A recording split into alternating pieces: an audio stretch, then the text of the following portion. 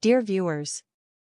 Today presents an excellent opportunity to unlock the full potential of your internet speed through the utilization of HTTP custom UDP settings, a method proven to enhance and optimize your online connectivity.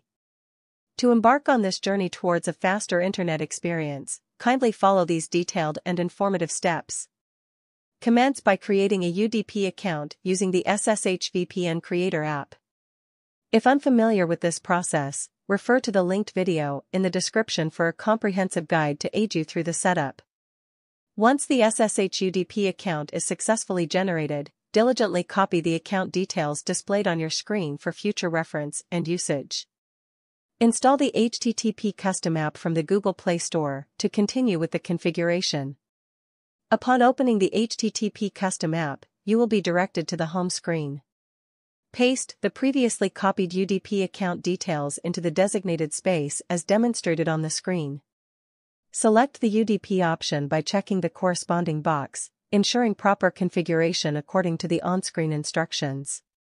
Initiate the connection process by selecting Connect to activate the HTTP custom UDP settings, which will enhance your internet speed significantly. Show your support by liking, subscribing, and engaging with our channel for more informative content in the future.